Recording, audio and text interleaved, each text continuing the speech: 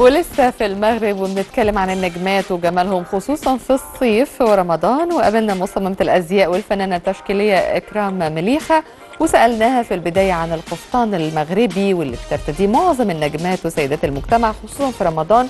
وإيه اللي بيميزه وإزاي وصل للعالمية؟ وعرفنا منها أحدث خطوط الموضة لعام 2018 وإيه المناسب في فصل الصيف؟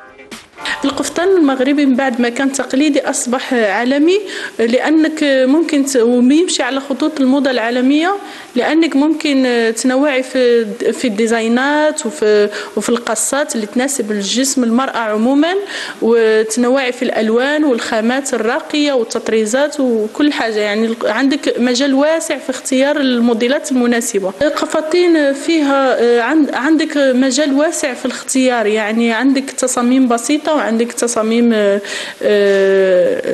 ثقيلة. يعني ممكن جميع كل الطبقات ممكن تلبس قفاطين ولكن كل امرأة تمشي على قد استطاعتها لا من ناحية القماش الخامات ولا من ناحية التطريزات ولا من ناحية الديزاين. يعني كل واحدة تشوف اللي هي أكثر شيء مناسبها لا شكلا ولا ماديا على حسب. بالنسبة للصيف 2018 الناس عامة كيشوفوا الموضة أي شيء يناسب يريحهم في اللبس ويكون مناسب للجسم لجسم أي إنسان هو مناسب جدا يعني موضة. ولكن بالنسبة للألوان اللي دارجه في الموضة هي اللون الزهري الفاتح والدرجات ديالو الأخضر بدرجاته الأزرق الأصفر. بالنسبة للسواري الأسود يجي في الدرجة الأولى ملك الألوان وتتبع الألوان السيلفر والألوان الذهبية والألوان اللي موضة اللي دارجه على الموضة. بالنسبة اللي كيناسب النهار يعني ممكن الانسان يختار اللي يرتاح له سواء كانت ملابس قطنية أو كاجوال جينز وتيشيرت قطنية أو قميص قميص. على حسب اللي كيناسب ال style ديال كل انسانه كتختار ال style المناسب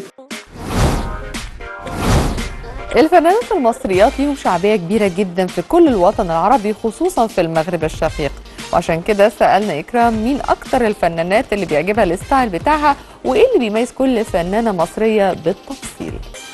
أكثر نجمة تبرز الأناقة ديالها وتلفت نظري الفنانة مايا دياب الفنانة هيفاء وهبي الفنانة الملكه أحلام الفنانة إليسا نانسي عجرم منى شلبي مي عز الدين غدا عبد الرازق. كل الفنانات ما شاء الله عليهم يلفتوا النظر. يعني هم عندهم منافسة في أكثر من أكثر واحدة تطلع فيهم أشيك وأرقى وفي ستايل جديد.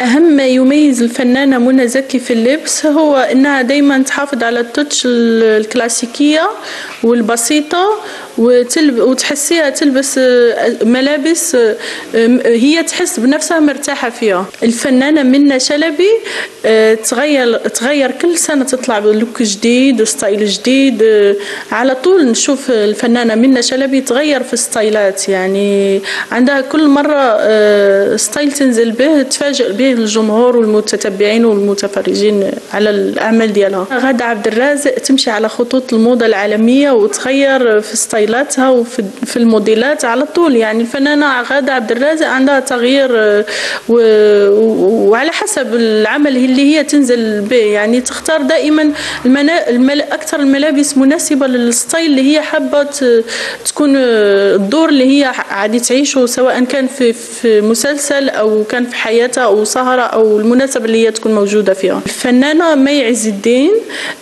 فنانة جميلة جدا وراقية في في اختيار ملابسها ملابس simple بسيطة ألوان فاتحة. تحب كثير الألوان الفاتحة ألاحظ. والفنانه مي عز الدين عموما ما كتغيرش كثير من style من style. يعني تمشي تقريبا ب style متشابه. وفي نهاية لقائنا مع إكرام كلمناها عن الفنانات العربيات وإيه اللي بيميز كل حد فيهم زي نانسي وهيفا وإليسا وأحلام.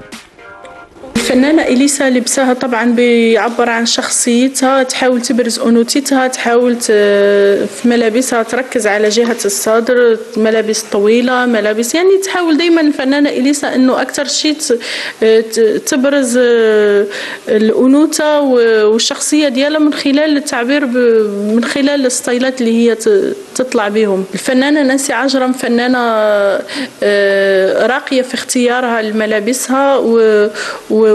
وعندها ملامح طفولية. حتى في style اتها تحب الملابس اللي اللي ما تكون كتير كتير over وكتير. يعني دايما simple class class and simple الفنانة مايا دياب تمشي على خطوط الموضة العالمية وتتابع آخر صيحات الموضة. وعموما في ناس تناسبها إنها تتابع الخطوط الموضة وتمشي على خطوط الموضة. بس آه، وفي ناس ما تناسبها الموضة.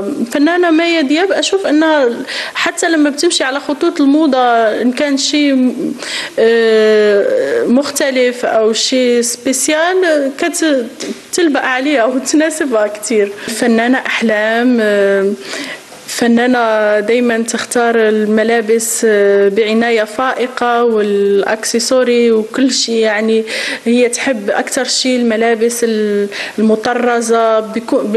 بما أنها فنانة خليجية وتنتمي للشعب الخليجي عموما بيحبوا الملابس المطرزة واللي فيها فصوص واللي فيها شغل أكثر وتناسبهم أكثر.